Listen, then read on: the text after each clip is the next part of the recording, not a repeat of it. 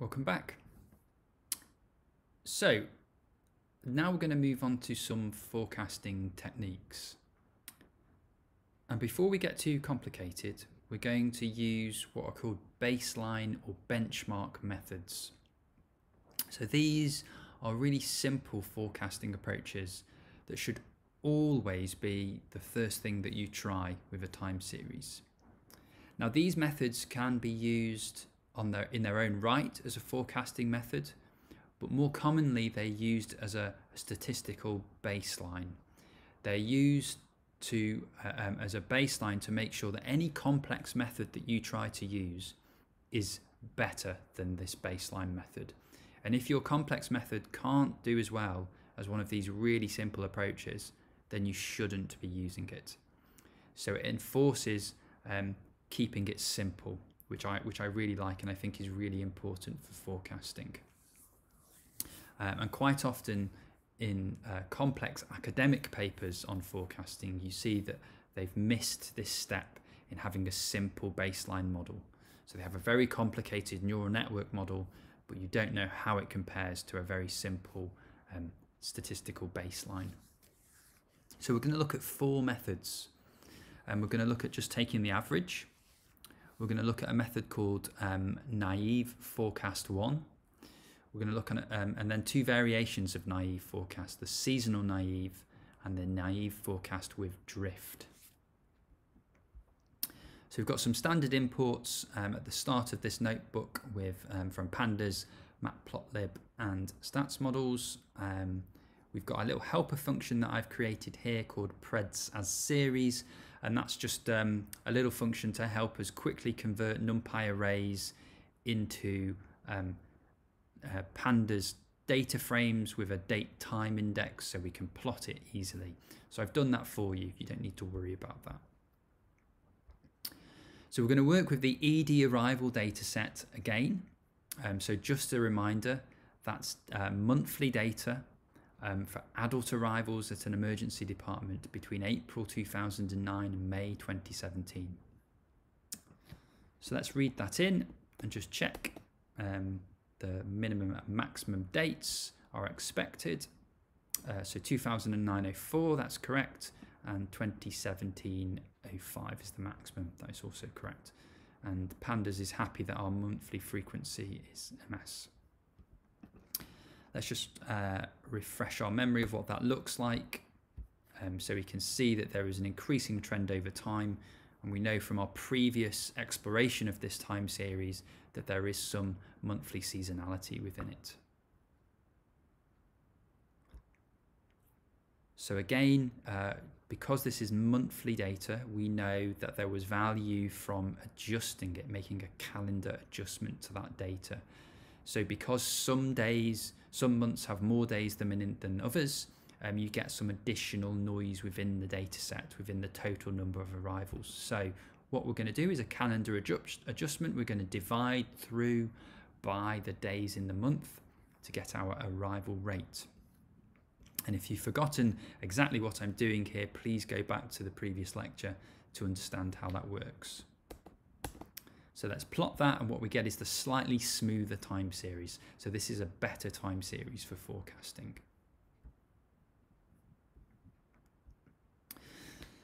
So on to our, our baseline methods.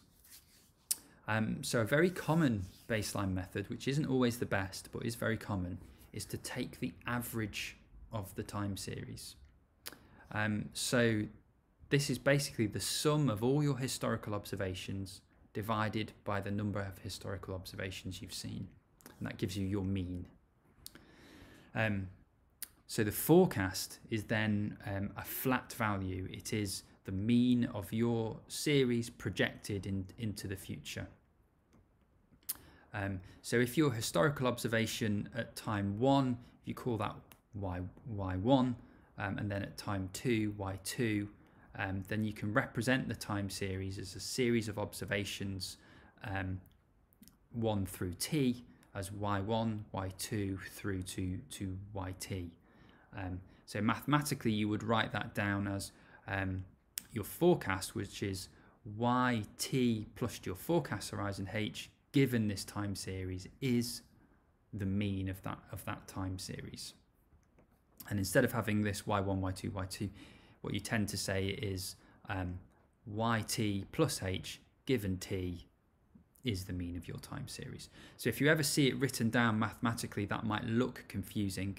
Um, what it means is that we're taking the mean of our values here and we have a flat forecast function. So we are projecting that mean, we are extrapolating that mean beyond the end of our historical values. And this is what you'll see in a, in a, in a book on forecasting. That's all it means. Now to help you do this quickly, PenCHORD has put together some simple classes um, for baseline forecasts in a package we've called Forecast. Um, so to, to use that package, um, you'll need your um, Jupyter notebook or your Python code within um, the same directory as our, our folder called Forecast. And inside Forecast, you've got some Python modules. So for example, you've got a baseline module. If we double click on that, um, and you'll see that contains these forecasting methods.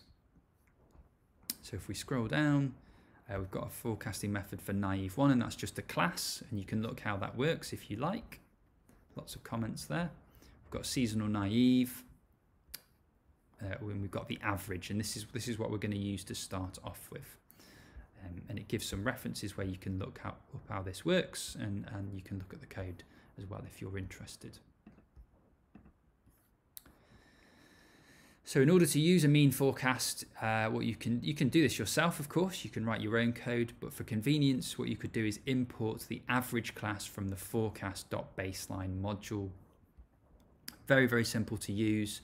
Um, all you need to do is three things: create an instance of that class, so you have um, um, a forecast object.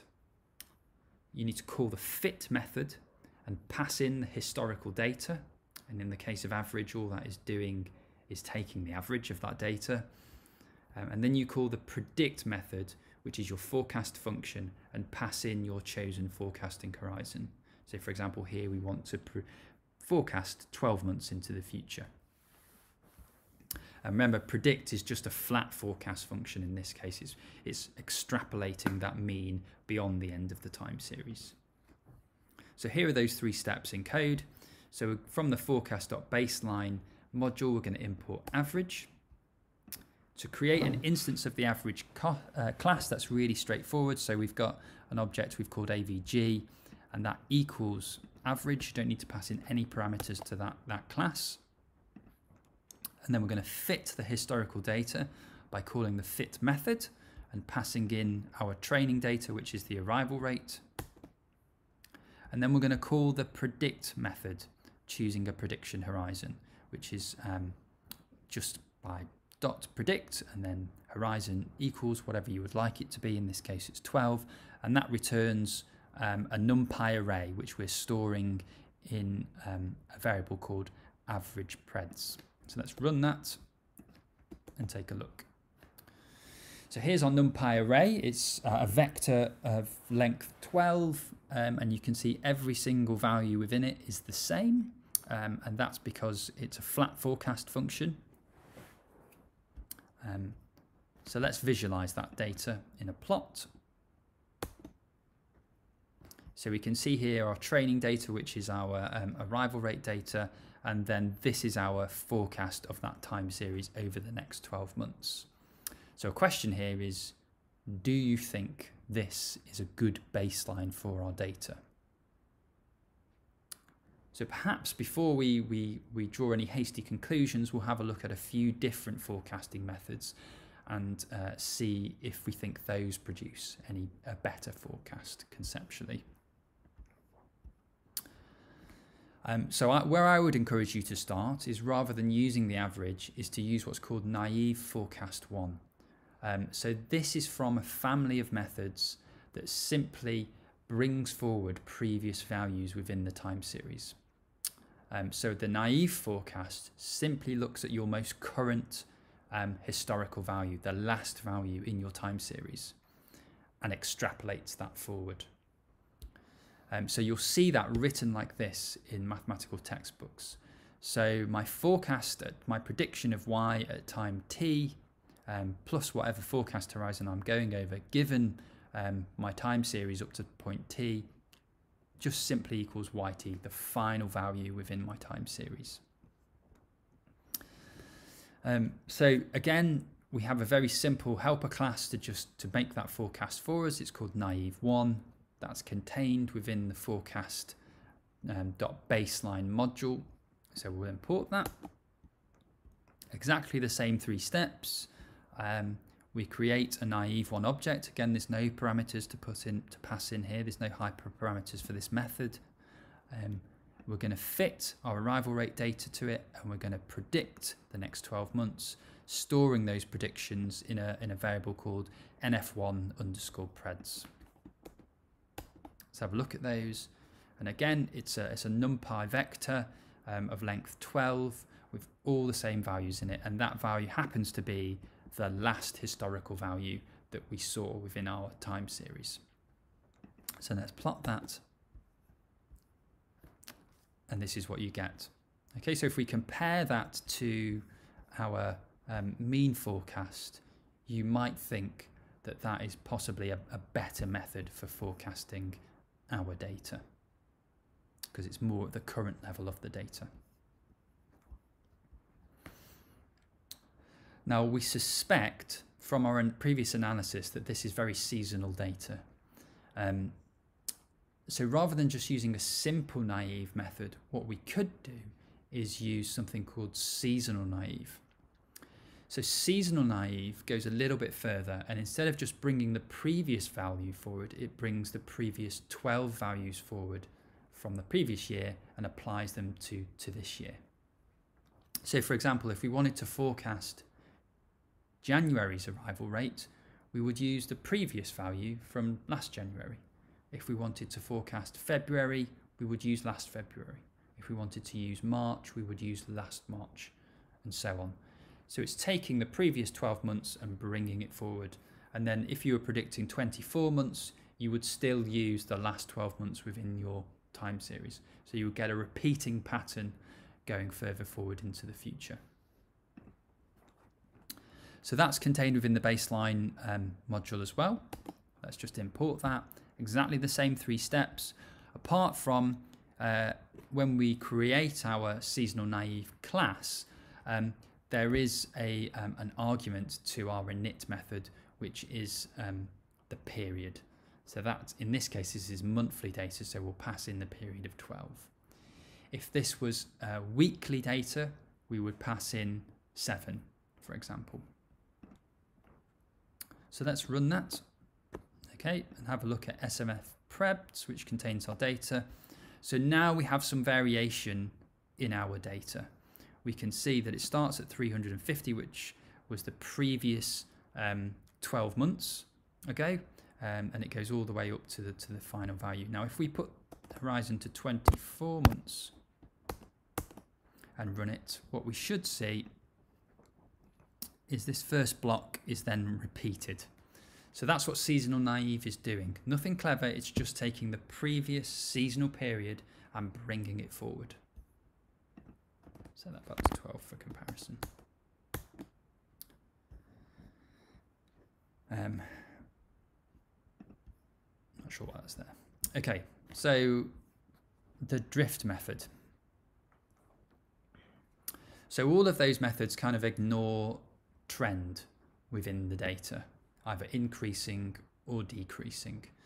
So another variant on the naive forecast is to have a naive forecast with drift. Um, so that's kind of taking the, the, the, the, final value in the series and applying um, a gradient to it. So when you take one step forward, it's the previous value plus a gradient. So there's a really simple way to, to think of how drift works. So if you take the first value in the time series and the last value within the time series and draw a straight line between the two of them, that gives you your model that you've fitted to the data. So then any extrapolation is just extending that line further into the future. So that looks a bit like this mathematically. So our forecast is the, the final value in the series um, plus whatever horizon you're going over. Um, and then this, this quantity here represents the gradient in the data. So it's the final value in the series minus um, the, uh, the first value divided by the number of observations minus one, and that gives you the average change you've seen over the over the time series. So that I think is probably easier to to visualize rather than understand mathematically. So what we'll do is we'll we'll import the drift class from the baseline function, uh, baseline module. We'll create it, very straightforward, no parameters. We've stored the predictions within DRF preds, which we'll just have a quick look at, and you can see that these are gradually uh, getting larger over time. And then if we plot that, we're also going to plot um, the fitted values. These are the in-sample values that we've fitted. Um, so we've got three things plotted here. We've got um, the training data, which is our original raw arrival rate data. This um, blue uh, dotted line is our model. That's what we fitted to that data. So in some ways, it's quite a poor fit because there's a lot of data below it, far more data below that line than above it. But you can see that goes from the first point in the series all the way up to the final point. And then the extrapolation is simply extending that, that line in, into the future. And that's the drift forecast. So those represent the most common baseline methods you will see. So we looked at four of those. We looked at the average forecast, which in this case I would say is a very poor forecast. Naive forecast one, which is a very popular and common uncommon forecast for people who work in forecasting. Seasonal naive, which you would use if you think your data is seasonal and then naive with drift, which may be appropriate if you think there is a there was an upward or downwards trend within your data. So what we've not been able to do is quantitatively decide which of those baselines is the appropriate model to use. So we're now going to move on to looking at measuring forecast error and evaluating your forecasts. And that's going to give us some tools to help us pick which of these baseline models we should use. And they're the same tools that you would then use to compare more complex methods to these baselines. But we're going to do it with baselines because that keeps things simple and allows us to focus on the tools themselves instead of the complex methods that we might use.